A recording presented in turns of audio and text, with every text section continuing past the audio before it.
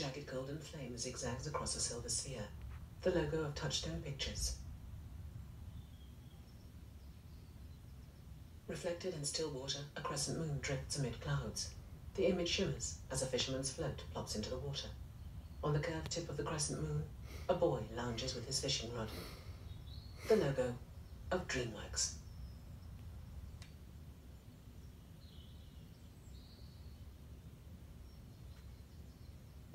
DreamWorks Pictures and Reliance Entertainment present